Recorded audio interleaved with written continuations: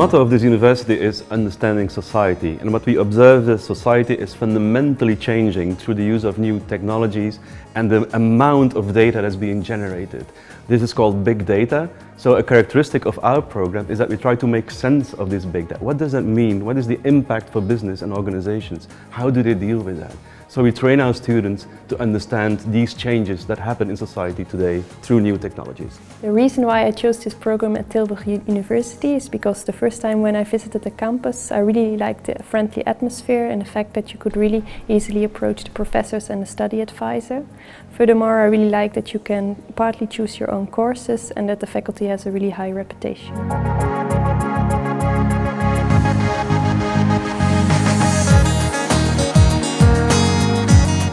What I like most about the program is that it's very international. Uh, we have a very international classroom with people from many different countries studying together. Uh, another very good thing about the program is that Tilburg University has a very good network with companies in the corporate.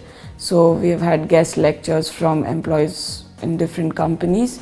We also study subjects such as strategic sourcing or enterprise architecture which are very relevant to the practical world and it's very good to know the perspective of these employees working in the real companies while studying these subjects. Um, what makes this program here so unique in Tilburg are a couple of different things. First of all, we bring our students to the companies. We let them experience how companies really work, what the impact is of information technologies and the increase of data in these companies.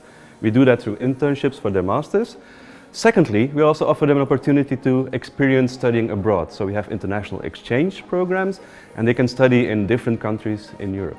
And finally and thirdly, we also create an international atmosphere here in our classrooms. So people meet other students from other countries, they think together, they work together, and hopefully they learn together how to deal with the problems in a changing society today.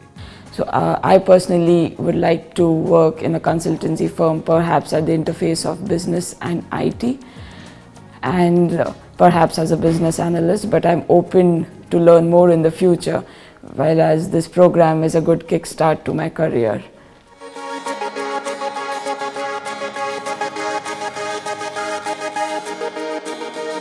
Oh, the career perspectives are just brilliant. We have jobs that are being created every day by these new technology companies, but also by big consultancy companies that are here in the Netherlands.